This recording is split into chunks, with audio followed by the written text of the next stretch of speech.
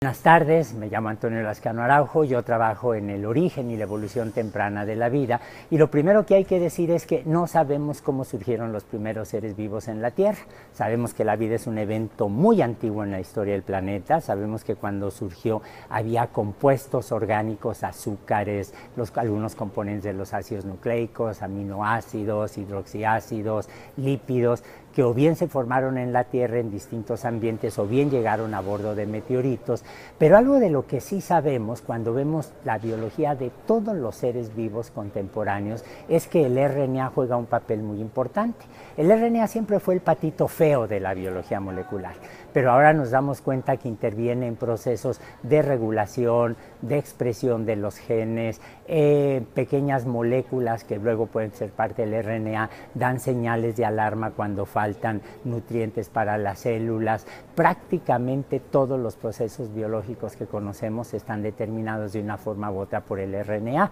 Ahora, el RNA es un ácido nucleico, igual que su primo el DNA puede almacenar información genética y virus como el del Zika, el SIDA, la influenza, eh, etcétera, son virus, son sistemas que se replican y usan como información genética el RNA.